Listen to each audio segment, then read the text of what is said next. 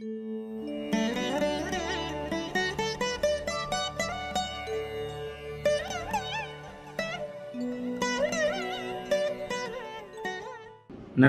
அனைவருக்கும் வணக்கம். எல்லோரும் நன்றாக இருப்பீர்கள். இன்றைக்கு நாம் இன்றைய தமிழகத்தின் மிக முக்கிய அரசியல் பிரமுகரான நம்முடைய தமிழக முதல்வர் மாண்புமிகு மாண்புமிகு ஐயா எடப்பாடி கே பழனிசாமி அவர்களுடைய ஜாதகத்தை பார்க்க இருக்கிறோம். அவருடைய ஜாதகத்தில் என்னுடைய சுபத்துவ சூட்சுமவலு அமைப்பின்படி எத்தகைய உயர்நிலை அமைப்புகள் இருக்கின்றன? அவர் முதல்வரான சில சந்தர்ப்பங்கள் எல்லோருக்கும் தெரியும். ஆக எப்படிப்பட்ட சூழ்நிலையில் அவர் முதல்வரானார்? நான் என்னுடைய சிம்மம் சிம்மாதிபதி சுபத்துவமாக இருக்கும் பொழுது மட்டுமே ஒருவர் உயர்நிலை அதிகார பதவியை அடைய முடியும் என்று சொல்வதற்கேற்ற சில அமைப்புகள் அவருடைய ஜாதகத்தில் எப்படி இருக்கிறது அப்படிங்கிறத இன்றைக்கு பார்ப்போம். சரி மிக முக்கியமாக இன்னொரு கருத்தை இங்கே பதிய விரும்புகிறேன்.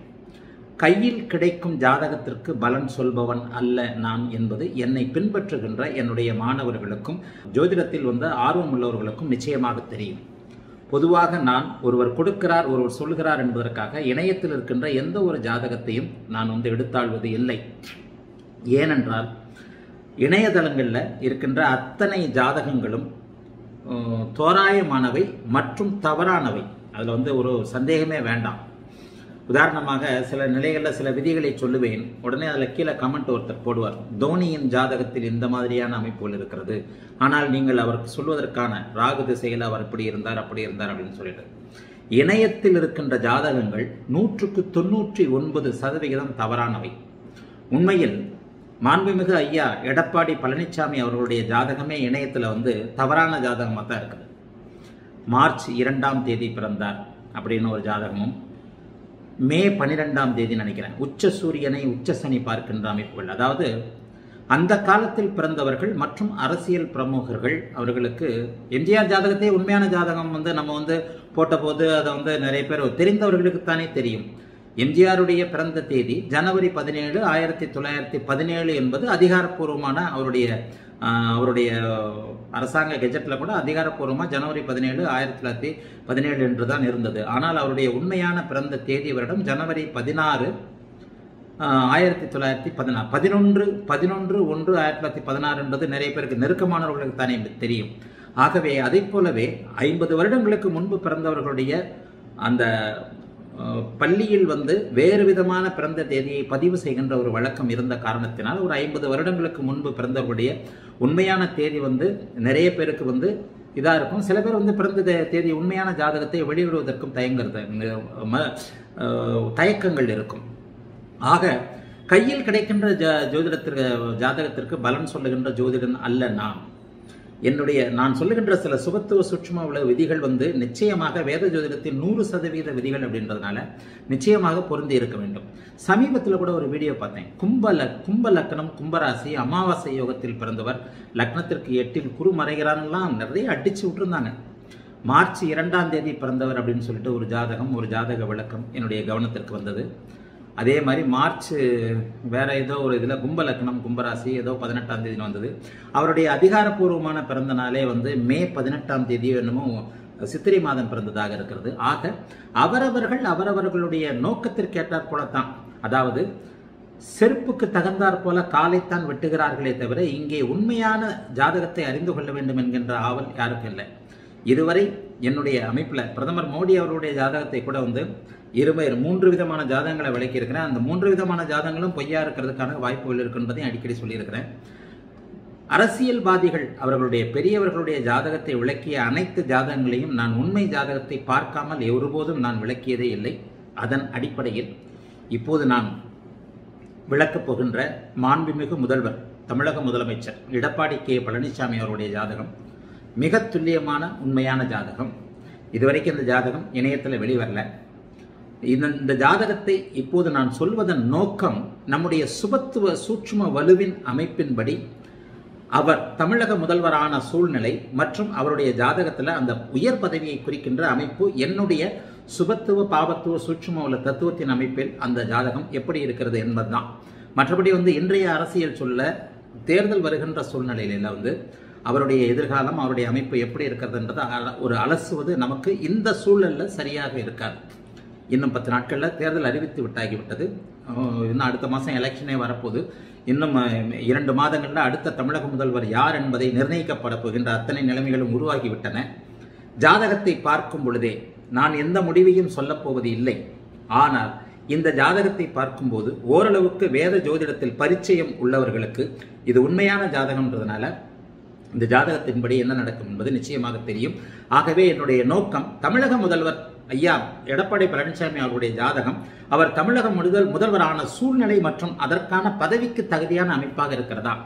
ஏற்கனவே நான் சொல்லியிருக்கிறேன் ரஜினிகாந்த் அவர்கள் ஜாதகத்தில் ரஜினிகாந்த் தமிழக முதல்வராக முடியாது என்பதை இரண்டாயிரத்தி பதினேழாம் ஆண்டு முதலே அவருக்கு அரசியலில் ஆர்வம் இல்லை.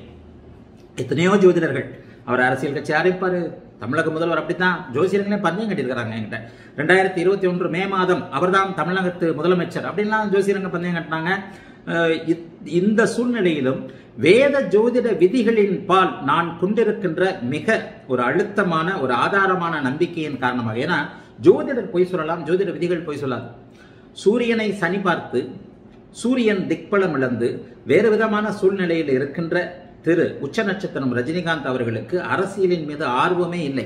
ரெண்டாயிரத்தி பதினாலு மே மாதமே அவர் இதை வந்து ஒரு மாலை மலர்ல ஒரு ஆர்டிக்கலாக எழுதியிருந்தேன் யுத்தம் வரும்போது பார்த்து கொள்ளலாம் அப்படின்னு வந்து ரஜினிகாந்த் அவர்கள் இன்று உரையை முடித்திருக்கிறார்கள். யுத்தம்னா அவர் சட்டமன்ற தேர்தலில் சொன்னார்.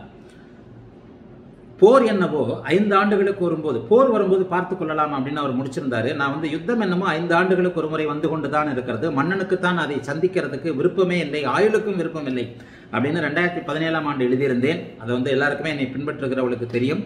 என்னுடைய கருத்துல வேத ஜோதிடத்தின் பால் நான் கொண்டிருந்த விதிகளின் பால் நான் கொண்டிருந்த ஒரு உண்மைத்தன்மையின் அடிப்படையில் ரஜினிகாந்த் அவர்கள் அரசியலுக்கு வருவதற்கு விருப்பமில்லை. அவர் வரமாட்டார் வரமாட்டார். அதாவது ஜனவரி மாதம் முப்பத்தி ஒன்னாம் தேதிக்குள்ள நான் அரசியல் கட்சி தொடங்கப் போகிறேன் என்று அவர் அறிவித்ததற்கு பிறகு மிகவும் தைரியமாக ஒரு வீடியோவை வெளியிட்டோம். அதாவது அவர் தமிழக முதல்வர் ஆகின்ற அமைப்பே அவருக்கு கிடையாது. அவர் அரசியலில் அவருக்கு விருப்பமும் கிடையாது என்பதை மிக தெளிவாக சொல்லியிருந்தோம். நம்முடைய வீடியோவுக்கு ரெண்டு வாரத்துக்கு பிறகு அவர் அவருடைய உண்மை நிலையை எனக்கு அரசியலில் விருப்பம் இல்லை என்று அவர் அரசியலை விட்டே ஒதுங்கிவிட்ட நிலைமை இருந்தது. ஆக இப்போது என்னுடைய நோக்கம் தமிழக முதல்வர் ஐயா எடப்பாடி கே பழனிசாமி அவர்களுடைய அமைப்பு இன்றைக்கு தமிழக முதல்வராக இருக்கிறார். ஒரு மிகப்பெரிய கனவு. அரசியலில் இருக்கின்றவர்கள் மாநில அரசியலில் இருக்கின்றவர்கள் அத்தனை பேருடைய கனவு அதிஉச்ச பதவியான மாநிலத்தின் அதிவுச்ச பதவியான முதல்வர் பதவியை அடைவது என்பதாகத்தான் இருக்கும். யாருமே கட்சி ஆரம்பிக்கிறது ஒரு இதுக்காக ஆரம்பிக்கிறது இல்லை ஒரு உயர் பதவியை அடைய வேண்டும். எனக்கும் சாமானியனும் இன்றைக்கு மன்னராகி விடவெல்லாம் அப்படின்ற ஒரு அமைப்பு வந்துவிட்ட பிறகு ஜனநாயக அமைப்பில் வந்து எல்லோரும் மன்னர் என்கின்ற ஒரு சமநிலை வந்துவிட்ட பிறகு நானும் ஏன் இதற்கு முயற்சிக்க கூடாது என்கின்ற ஒரு மனநிலையில ஒரு அரசியல் ஆர்வம் இருக்கின்ற சாதாரண வட்டச் செயலாளராக இருந்தால் கூட அவர் என்றேனும் ஒரு நாள் நானும் ஒரு உயர் பதவியை அடைய மாட்டேனா அப்படிங்கிற ஆசையில தான் வரார். அப்ப அதற்கு ஜாதகத்தில் அந்த அமைப்பு இருக்க வேண்டும் என்பதுதான் மிக மிக முக்கியமான ஒன்று. ஏனென்றால் வேத ஜோதிட விதிகளை ஜோதிடத்தை சரியான நிலையில சரியான விதிகளாக பகுத்து சொல்லுகின்ற ஜோதிடன் ஆகிய நான் என்னுடைய கவனம் இந்த உயர் பதவியை இவர் எப்படி அடைவார்? அடைவாரா அடைய மாட்டாரா எப்படி அடைவார்? அடைந்தார் அப்படின்றதா தான் இருக்கும். வருத்தத்திற்குரிய விஷயம் கையில் கிடைக்கிற ஜாதகத்தை தான் நிறைய பேர் பலன் சொல்ல ஆரம்பிக்கிறாங்க. அந்த விதிகள் பொருந்துமா அப்படின்றத யாருமே பார்க்கறது இல்லை. எந்த ஒரு நிலையிலும் என்னை பின்பற்றுகிறவர்களுக்கு நான் அந்த உறுதிமொழியை ஏற்கனவே கொடுத்துருக்கிறேன். உண்மையான ஜாதகம் என்பதை நான் உறுதிப்படுத்தி கொள்ளாமல் என்னை பின்பற்றுகின்ற என்னுடைய மாணவர்களுக்கு நான் சொல்றதே இல்லை அப்படிங்கிறது தெளிவாகவே தெரியும். சரி இப்போது திரையில் இன்றைய தமிழக முதல்வர் ஐயா மாண்புமிகு எடப்பாடி கே. பழனிசாமி அவர்களுடைய ஐயாவுடைய ஜாதகம் வரப்போகிறது. அவர் இருபது மூன்று ஆயிரத்தி தொள்ளாயிரத்தி ஐம்பத்தி நாலு மார்ச் மாதம் இருபதாம் தேதி இருபது மூன்று ஆயிரத்தி தொள்ளாயிரத்தி ஐம்பத்தி நான்கு மார்ச் மாதம் மூன்றாம் தேதி சேலம் இடைப்பாடியில் தமிழக முதல்வர் அவர்கள் பிறந்திருக்கிறார்கள். பிறந்த நேரம் இங்கே தேவையில்லை. நான் லக்னம்லாம் கொடுத்துட்றேன் இருந்தாலும் ஒரு ஜோதிட ஆர்வம் உள்ளவர்களுக்கு சில விஷயங்கள் துல்லியமாக தெரியும். மீண்டும் சொல்லுகிறேன். இருபது மூன்று ஆயிரத்தி தொள்ளாயிரத்தி ஐம்பத்தி நான்கு. சேலம் இடைப்பாடி அருகில் ஒரு சிற்றூரில் அவர் பிறந்திருக்கிறார். சேலம் மாவட்டத்தில். சரி அவருடைய முதல்ல இப்போ ராசி கட்டம் வருகிறது. அவருடைய லக்னம் ரிஷப லக்னம். லக்னத்தில் குரு இரண்டில் கேது ஐந்தில் சந்திரன் ஆறில் சனி ஏழில் செவ்வாய். ஆறில் சனி ஏழில் செவ்வாய் எட்டில் ராகு பத்தில் தனித்த புதன் பதினொன்றில் சூரியன் சுக்கிரன் அதாவது லக்னாதிபதி உச்சம். ராசி கட்டம் இப்போது வந்திருக்கிறது. முதல்வர் அவர்கள் பிறந்த பொழுது ஹஸ்தம் நட்சத்திரத்தில் பிறந்திருக்கிறார். சந்திர தசையில் ஏழு வருடம் ஆறு மாதம் ஒன்பது நாட்கள் மீதம் இருக்கின்ற நிலையில் பிறந்திருக்கிறார்கள். சந்திர தசையில் ஏழு வருடம் ஆறு மாதம் ஒன்பது நாட்கள் மீதம் இருக்கின்ற நிலையில் பிறந்திருக்கிறார்கள். இப்போது சில நொடிகள் நவாம்ச அமைப்பையும் கொடுத்துறேன் நவாம்சம். லக்னம் வர்க்கோத்தமம். நவாம்சத்தில் எண்கள் கிடையாது. காரணத்திற்காகத்தான் சொல்லுகிறேன். இப்போது நவாம்சம் திரையில் தெரிகிறது. லக்னம் வர்க்கோத்தமம். லக்னம் வர்க்கோத்தமம் ராகு கேதுக்களும் வர்க்கோத்தமம். அதாவது ரிஷப லக்னம் மிதுனத்தில் கேது நான்கில் சின்மத்தில் சூரியனும் குருவும் இணைவு. தனுசில் புதன் சுக்கரன் ராகு. நவாம்சத்தில் தனுசில் புதன் சுக்கரன் ராகு. கும்பத்தில் சனி மீனத்தில் செவ்வாய் சந்திரன் மேஷத்தில். இதுதான் நவாம்ச லக்னம். திரும்பி இப்போது ராசி கட்டத்துக்கு வந்து விடுவோம். சரி என்னுடைய சுபத்துவ பாவத்துவ சூட்சும வலு அமைப்பினை மிகவும் நிரூபிக்கின்ற இன்னொரு உயர்நிலை ஜாதகமாக தமிழக முதல்வர் ஐயா எடப்பாடி பழனிசாமி அவர்களுடைய ஜாதகம் அமைந்திருக்கிறது. தற்போதைய தசாபுக்தி என்னவென்று பார்த்தோமேயானால் இப்போது நடந்து கொண்டிருப்பது சனி தசையில் குருபுக்தி நடந்து கொண்டிருக்கிறது. சனி தசையில் குருபுக்தி பதினேழு மூன்று இரண்டாயிரத்தி பத்தொன்பது முதல் பதினேழு மூன்று இரண்டாயிரத்தி பத்தொன்பது முதல் இருபத்தி எட்டு ஒன்பது இரண்டாயிரத்தி இருபத்தொன்னு வரை வரும் செப்டம்பர் மாதம் இருபத்தி எட்டாம் தேதி வரை அவருக்கு சனி தசை நடப்பில் உள்ளது. அடுத்து அவருக்கு புதன் தசை ஆரம்பமாகும். சரி. இன்றைய என்னுடைய அமைப்பில் யானை மாலையிட்டதைப் போல அரசன் இல்லாத ஊரில் யானைக்கு மா யானையினுடைய துதிக்கை துதிக்கையின் கையில் வந்து மாலையை கொடுத்து விட்டு யாராவது ஒருத்தரை வந்து அவர் கழுத்தில் மாலை போடும்போது அவருக்கு வந்து அரச பதவி கிடைக்கும் என்பது அந்த காலத்து வரலாறு. அதை மெய்ப்பிப்பது போல இன்றைய அமைப்பில் வந்து அவருக்கு சில விஷயங்கள் நடந்தன. அதாவது இன்றைய அமைப்பில் அவருக்கு வந்து ஒரு திடீர் அதிர்ஷ்டமாக அந்த பதவி தேடி வந்தது. மாண்புமிகு முதல்வர் அவர்கள் அரசியலில் மிகப்பெரிய ஏற்ற இறக்கங்களை சந்தித்தவர்கள். அவர் தேர்தலில் தோல்வியும் அடைந்திருக்கிறார் வெற்றியும் அடைந்திருக்கிறார். மிகப்பெரிய மாநில உச்ச பதவியான தமிழக முதல்வர் பதவியில் மிகவும் வெற்றிகரமாக கடந்த நான்கு ஆண்டுகளாக எவ்வித புகாரும் இன்றி மிகுந்த நிர்வாக திறமையுடன் எவ்வித இதுவுமின்றி ஒரு இன்ப அதிர்ச்சியோடு பரவாயில்லையே மிகவும் நன்றாக ஆட்சியில் இருக்கிறார். எவ்வளோ மிக மோசமான புகார்கள் எதுவும் இன்றி மிகவும் தெளிவான நிர்வாகத்திறனோடு அருமையான அமைப்பில் அந்த மாநிலத்துக்கு ஒரு நாலு கிட்டத்தட்ட நல்ல முதலமைச்சர்னே சொல்லலாம். அவரை வந்து பாராட்டாத பாராட்டாதவர்கள் இருக்கலாம். ஆனால் அவரை யாரும் இதுவரைக்கும் குறை சொல்லலை. தனக்கு தான் அந்த பதவிக்கு மிகவும் பொருத்தமானவர் என்பதை மாண்புமிகு தமிழக முதல்வர் அவர்கள் கண்டிப்பாக இந்த நான்கு ஆண்டு காலத்தில் நிரூபித்திருக்கிறார்கள். இவர் என்ன செய்ய போகிறார் என்று புருவத்தை உயர்த்தியவர்களுக்கு மத்தியில் தன்னாலும் ஒரு மிகப்பெரிய ஒரு திறம்பட ஒரு ஆட்சியை நடத்தி காட்ட முடியும் என்பதை இந்த நான்கு முழு ஆண்டு காலமும் எடப்பாடி பழனிசாமி ஐயா அவர்கள் நிரூபித்திருக்கிறார்கள். அதற்கான ஜோதிட காரணங்களையும் இப்போது பார்த்து விடுவோம். சரி. இங்கே என்னுடைய சுபத்துவ சூட்சும உள்ள தத்துவத்தின்படி மாண்புமிகு முதல்வர் அவர்களுடைய ஜாதகத்தில் சூரியனே அதிக சுபத்துவமான கிரகமாக இருக்கிறார். பௌர்ணமிக்கு அடுத்த நாள் பிறந்திருக்கிறார்கள். பங்குனி உத்திரத்திற்கு அடுத்த நாள் ஹஸ்த நட்சத்திரத்தில் பௌர்ணமிக்கு அடுத்த நாள் ஜோதிடப்படி பௌர்ணமி யோகம் இரண்டே கால் நாள் நீடிக்கும் என்கின்ற அமைப்பில் அதாவது சூரியனுக்கு நேர் ஏழாவது கேந்திரத்தில் சந்திரன் இருக்கும்போது அந்த இரண்டு இரண்டே கால் நாட்களும் பௌர்ணமி அமைப்பாக ஜோதிடத்தில் சொல்லப்படும் என்பதால் அந்த பௌர்ணமி யோகத்தில் பிறந்திருக்கிறார்கள். நான் அடிக்கடி சொல்லுவேன் பௌர்ணமி யோகத்தில் பிறக்கும்போது உயர்குடிகள் உயர்குடி பிறப்பு எல்லாம் ஏன் பௌர்ணமி யோகத்தில்? இத்தனைக்கும் அவர் எளிமையான குடும்பத்தில் பிறந்தவர். இத்தனைக்கும் முதல்வர் அவர்கள் மிக எளிமையான ஒரு விவசாய குடும்பத்தில் பிறந்தவர்கள். அடிக்கடி நான் சொல்றேன் இல்லையா? உயர்குடி பிறப்புகள் அனைவருமே ஏன் பௌர்ணமி யோகத்தில் பிறக்கிறாங்கன்னு கேட்டிருக்கிறேன் இல்லையா? பார்த்தீங்கன்னா நான் அறிந்த உயர்நிலையில் இருக்கின்ற எத்தனையோ பேரை சொல்லியிருக்கிறேனே. ஒன்று சந்திர கேந்திரத்தில் இருக்க வேண்டும். தற்காலிக அமைப்புக்கு சந்திர கேந்திரத்தில் இருக்க வேண்டும். மிக உயர்ந்த நிலை அமைப்பிற்கு சந்திரனுக்கு நேர் கேந்திரத்தில் இருக்கக்கூடிய பௌர்ணமிக்கு முன்பின் அமைப்பாக இருக்க வேண்டும். அந்த பௌர்ணமிக்கு முன்பின் அமைப்பாக இருக்கும் பொழுது மிகப்பெரிய உயர்நிலை ஒருவருக்கு அரசியல் என்று சொல்லப்படக்கூடிய அதிகாரத்தன்மையில் கிடைக்கும். இங்கே ஜாதகத்தை பார்த்து ஜாதகத்தை பார்த்தீங்கன்னா மிக தெளிவான ஒரு அமைப்பில் வந்து பௌர்ணமிக்கு அடுத்த நாள் பிறந்திருக்கிறார். முதல்வர் அவர்கள் பௌர்ணமிக்கு அடுத்த நாள் பிறந்திருக்கிறார்கள். லக்னாதிபதி உச்சமாகி பரிவர்த்தனை அடைந்திருக்கிறார். அதாவது சுக்கிரனும் குருவும் பரிவர்த்தனை. மிக உயர் நிலையில் சுக்கிரனும் குருவும் பரிவர்த்தனை அடைந்த ஒரு ஜாதகம். அதை போலவே நான் அடிக்கடி சொல்லுகின்ற சந்திர அதியோகம். பௌர்ணமி அமைப்பின் சந்திர அதியோகத்தில் லக்னாதிபதி மிக சுபத்துவமாக உச்ச நிலையில் குறிப்பாக அஸ்தமனம் இல்லாமல் சூரியனோடு இணைந்திருக்கிறார்.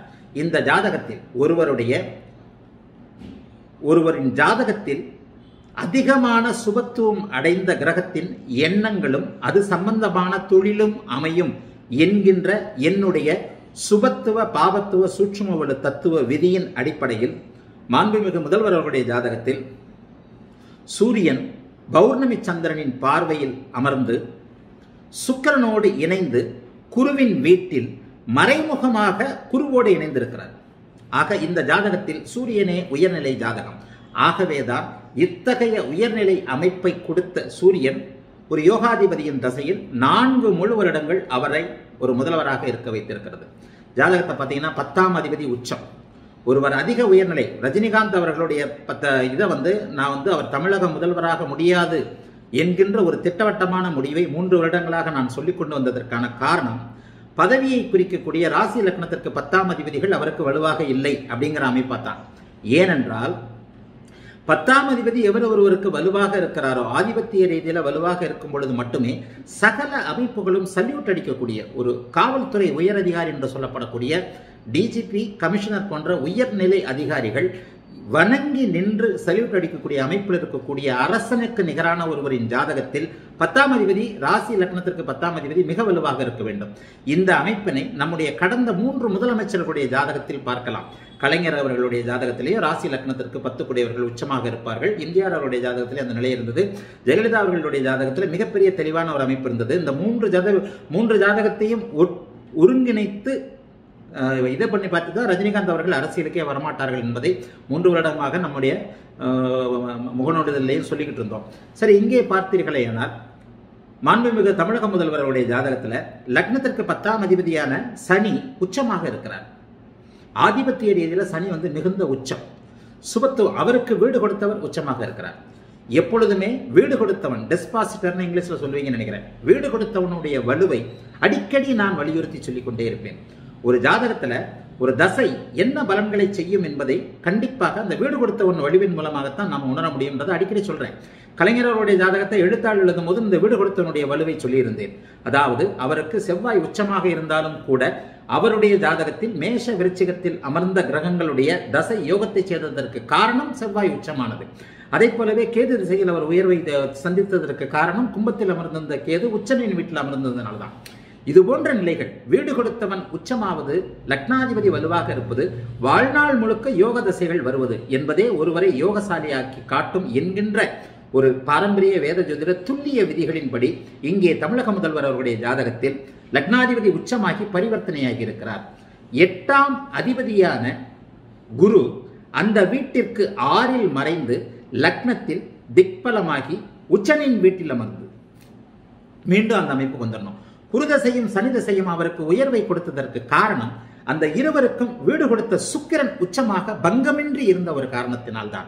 இங்க பாருங்க சூரியன் சுக்கிரனோடு உச்ச சுக்கிரனோடு இணைந்து குருவுக்கு நிகரான பௌர்ணமி சந்திரனின் பார்வையை அடைந்து குருவின் வீட்டில் அமர்ந்து குருவோடு பரிவர்த்தனையான குருவோடு மறைமுகமாக இணைந்திருக்கிறார். ஆக அதிகமான சுபத்துவம். எப்போது ஒரு கிரகத்தை அதிகமான சுபத்துவம் என்று சொல்லுகிறேன் என்பது வந்து உங்களுக்கு நன்- நன்றாக புரியும். குரு சுக்கரனுடைய ஒரே நேரத்தில் குரு சுக்கரனுடைய தொடர்புகளை பெறுகின்ற ஒரு கிரகம் அதிகமான சுபத்துவத்தை அடையும். இரண்டாவதான முழுமதியான பௌர்ணமியோட பௌர்ணமி சந்திரனாகிய குரு ப- சந்திரன் குருவுக்கு நிகரானவர் என்றும் அடிக்கடி என்னுடைய சுபத்துவ பாபத்துவ தத்துவத்தின் அடிப்படையில் சொல்றேன். அந்த அமைப்பு முதல்வர் ஐயா அவர்களுடைய ஜாதகத்தில் மிக தெளிவாக இருக்கிறது. இங்கே நவாம்சத்திலும் சூரியன் சிம்மத்தில் அமர்ந்து குருவின் இணைவோடு அதிகபட்ச சுபத்துவமாக இருக்கிறார். அதன் காரணமாகவே முதல்வர் அவர்கள் தன்னுடைய பதினெட்டு வயதிலேயே ஆயிரத்தி தொள்ளாயிரத்தி எழுபத்தி ரெண்டில் அன்றைய முதல்வர் எம்ஜிஆர் அவர்கள் கட்சி ஆரம்பித்த உடனேயே அவர் வந்து அதிமுகவில் இணைந்தவர். ஆயிரத்தி தொள்ளாயிரத்தி எழுபத்தி ரெண்டில் தன்னுடைய பதினெட்டு வயது முதலே அரசியலில் ஆர்வமாக இருந்து அரசியலுக்குள்ள வந்துட்டார். அப்பவே கிட்டத்தட்ட ஏதோ கிளை செயலாளராக அந்த ஊர்ல வந்து அந்த வார்டு செயலாளரோ கிளை செயலாளரோ எழுபத்தி ரெண்டுல அதிமுக தொடங்கினவுடனே சாதாரண தொண்டனாக அவர் அவர்கள் வந்திருக்கிறார்கள். ஆயிரத்தி தொள்ளாயிரத்தி எண்பத்தி எட்டு அல்லது எண்பத்தி ஒன்பதுல தான் வந்து அவர் முதன்முறையாக எம்எல்ஏ ஆயிருக்கிறார். கிட்டத்தட்ட ரெண்டாயிரத்தி தொண்ணூத்தி ஆறுல அவர் தோல்வியை தழுவி இருக்கிறார் ஆயிரத்தி தொள்ளாயிரத்தி எண்பத்தி குருதசை உச்சனின் வீட்டில் அமர்ந்த அட்டமாதிபதி எட்டிற்கு ஆறில் மறைந்து திக்பலமாகி உச்சனின் வீட்டில் அமர்ந்த குருதச சனி புக்தியில தான் ஆயிரத்தி தொள்ளாயிரத்தி எண்பத்தி ஒன்பதில் அவர் முதன்முறையாக எம்எல்ஏ ஆகியிருக்கிறார் ஆக அந்த குருதசையிலிருந்து படிப்படியாக சனிதச வரைக்குமே அவருக்கு மிகப்பெரிய உயர் நிலைமைகள் கொடு வந்திருக்கின்றன. நல்லா பார்த்தீங்கன்னா இந்த உச்சனுடைய வீடுகளில் அமர்றது வந்து மிகப்பெரிய யோகம். அதற்கு லக்னாதிபதி துணையாக இருக்க வேண்டும். மறுபடியும் பார்த்தீங்கன்னா இந்த செப்டம்பர் மாதம் வந்து அவருக்கு இது சனிதசை முடிய போகுது. ரிஷப லக்னத்திற்கு ராஜயோகத்தை கொடுக்கக்கூடிய லக்னத்திற்கும் ராசிக்கும் யோகாதிபதியான சனி தசை சனி வந்து பத்தொன்பது வருடங்கள் தசை நடத்திய சனி தசை தற்போது செப்டம்பர் மாதத்தோட முடிய போகுது. அடுத்து ராசிநாதனும் லக்னத்தின் இன்னொரு யோகருமான புதன் தசை ஆரம்பிக்க இருக்கிறது. அந்த புதனும் உச்சனினாகிய உச்சனாகிய சனியின் வீட்டில் தான் உட்காந்துருக்கிறார் ஆக இன்னும் பதினேழு வருடங்களுக்கு அவருடைய அரசியல் அமைப்பு இருந்து கொண்டுதான் நீடித்து கொண்டுதான் இருக்கும். தற்போது முதல்வர் அவர்களுக்கு கிட்டத்தட்ட எவ்வளோ எத்தனை வயசாகுது? அறுபத்தி ஆறு அறுபத்தி ஏழு வயசாக போகுதுன்னு நினைக்கிறேன். அறுபத்தி ஆறு அறுபத்தி ஏழு வயதாகின்ற முதல்வர் அவர்கள் இன்னும் பதினேழு வருடங்களுக்கு அரசியலில் ஆக்டிவாக இருக்கக்கூடிய அமைப்பை அந்த புதன். பத்தாம் இடத்தில் இருக்கக்கூடிய புதன் தருவார். சரி. என்னுடைய சுபத்துவ வலு தத்துவத்தின்படி சிம்மாதிபதி மிகுந்த சுபத்துவமாக இருக்கின்ற நிலைமையில சிம்மமும் தனிப்புதனின் பார்வையால் சுபத்துவமாக இருக்கிறது. சிம்மமும் தனிப்புதனின் பார்வையால் சுபத்துவமாக இருக்கிறது. சிம்மத்திற்கு எந்த விதமான பாவத் தொடர்புகளும் இல்லை. லக்னத்தில் திக்பலமாக சு- குரு அமர்ந்து ராசியை பார்க்கிறார். சந்திரன் மிக பொலிவாகி முன்னாள் தமிழக முதல்வர் ஜெயலலிதா அவருடைய ஜாதகத்தைப் போலவே பௌர்ணமிக்கு அடுத்த நாள். ஆனால் நிறை பௌர்ணமியில் பிறந்தவர் ஜெயலலிதா. ஜெயலலிதா அவர்கள் நிறை பௌர்ணமியில் பிறந்ததுனால அவர் வந்து ஒரு காரிஷ்மா மிக உயர்ந்த ஒரு பேரரசியாக இருந்தார். அதற்கு அடுத்த நிலையில் தான் இங்கே எடைப்பாடி பழனிசாமி ஐயா அவருடைய ஜாதகம் இருக்கிறது. அதாவது பௌர்ணமிக்கு அடுத்த நாள். என்ன இருந்தாலும் ஒரு ஒரு பத்து சதவிகித ஒலி குறைந்த அமைப்பில் வந்துட்டார். என்னுடைய அந்த ஒளித்தன்மையோடு ஜாதகத்தை புரிஞ்சுக்கிட்டாலே எல்லா அமைப்புகளும் பட்டு பட்டுன்னு அப்படியே கண்ணு திறந்த மாதிரி வந்துடும் ஆக இந்த அமைப்பின்படி திரையில் தெரிகின்ற இந்த ஜாதகத்தின் அமைப்பின்படி பௌர்ணமிக்கு அடுத்த நாள் பிறந்திருக்கிறார். அந்த சந்திரனை ஐந்தாம் இடத்தை ஏழாம் இடத்தை ஒன்பதாம் இடத்தை இவர் பார்க்கிறார். குரு பார்க்கிறார். அந்த ஒளிபருந்திய சந்திரன் லக்னாதிபதியை பார்க்கிறார். ஆக லக்னாதிபதி மிக சுபத்துவமாகி பதினெட்டு வயதிலேயே அரசியலில் புகுந்து அதன் பிறகு ஒரு குருதசை சனி புக்தி குருதசையில சுயபக்தி முடிந்ததற்கு பிறகு குருதசையில சனி புக்தி அதாவது சஷ்டாஷ்டகமாக இருந்தாலும் உச்சனின் பங்கமற்ற உச்சன் அஸ்தமனமே இல்லை. மிக அதிகமான சுபத்துவத்தை குருவின் இது சந்திரனின் தொடர்பால் பூரண சந்திரனின் தொடர்பால் நான் அடிக்கடி வலியுறுத்தி கூறும் சந்திர அதியோகம் பெற்ற லக்னாதிபதியின் தயவால் முதல் முறையாக எம்எல்ஏ ஆகிறார். அடுத்தடுத்து பார்த்தீங்கன்னா சூரிய சந்திர செவ்வா புக்திகள் எல்லாத்திலையும் தோத்திருப்பார். அவயோகர்கள் என்று நான் சொல்லக்கூடிய சூரிய சந்திர செவ்வாய் ராகு புக்திகளில் அவர் தோல்வியை கண்டிருக்கிறார் எம்எல்ஏவாக இருந்தபோது. அடுத்ததோட எம்பியாக இருந்திருக்கிறாருன்னு நினைக்கிறேன். ஆக இன்றைக்கு தமிழக முதல்வரான சூழல் அப்படின்னு பார்த்துட்டீங்கன்னா தமிழக முதல்வராக எப்போது ஆகிறார்? சனி திசையில ராகு புக்தி எப்போது வருகிறதோ சனி திசையில ராகு புக்தி வந்த உடனேயே அதாவது மீண்டும் சனி திசையில ராகு புக்தி வந்த உடனேயே ராகு குருவின் வீட்டில் இருக்கின்ற ஒரு காரணத்தினாலும் குரு அதிக சுபத்துவமாக இருக்கின்ற ஒரு காரணத்தினாலும் எதிர்பாராத ஒரு ஒரு பெரிய லட்டு பெரிய த- தங்க தாம்பாளத்தில் சில விஷயங்களை கொடுப்பார் இல்லையா ராகு? அந்த அமைப்பின்படி சனிதச ராகுபக்தியிலையும் சனிதச குருபக்தியிலையும் ஏறத்தாழ நான்கு வருடங்கள் அவர் முழுமையாக இந்த சனியின் பூரண அமைப்பில் முழுமையாக அவர் வந்து முதல்வராக இருந்திருக்கிறார். சரி அடுத்து எப்படிப்பட்ட ஒரு எதிர்பாராத அதிர்ஷ்டத்தை ராகு கொடுப்பார்? ராகு என்கின்ற ஒரு பிரம்மாண்டமான ஒரு அனைத்தையும் உயர்த்தி காட்டக்கூடிய ஒரு மிக பிரபலமாக ஒருத்தரை ஆக்கக்கூடிய எம்ஜிஆர் அவர்களுடைய ஜாதகத்திலே எழுதியிருக்கிறார் உயர்ந்த நிலையில் இருக்கின்ற ஒரு சுபத்துவ ராகு என்பவர் ராஜயோகத்தை தருவார் என்கின்ற அமைப்பின்படி சனி தசையில் ராகு புக்தியில் இவருக்கு தமிழகத்தின் மிக உயர்நிலை பதவியான தமிழக முதல்வர் பதவி கிடைத்தது. அது அடுத்து உச்சனுடைய வீட்டில் இருக்கின்ற அந்த அந்த குரு புக்தி வரைக்கும் நீடித்தது. இப்போது செப்டம்பர் மாதம் புதன் தசை ந- நடக்க ஆரம்பிச்சிருக்குது. பத்தாவது இடத்துல புதன் இருக்கிறார். இதை வந்து வேத ஜோதிடம் அறிந்தவர்களின் யூகத்திற்கே விட்டு விடுகிறேன். இந்த நேரத்தில் இதை பற்றிய முடிவினை நாம் சொல்வது சரியாக இருக்காது. இன்னொன்று இந்த இப்போ இப்போ நடக்க போகிற விஷயங்கள் நிறைய பேருக்கு ஒரு ஓரளவுக்கு ஜோதிட ஞானம் உள்ளவர்களுக்கே வந்து நன்றாக தெரிந்துவிடும். எதை சொன்னாலும் சில விமர்சனங்கள் வந்து விடுகின்றன. ஜோதிடர்கள் ஒரு சார்பாக பேசுகிறார்கள் அப்படிங்கிற ஒரு நிலைமையில வந்து விடுகிறது.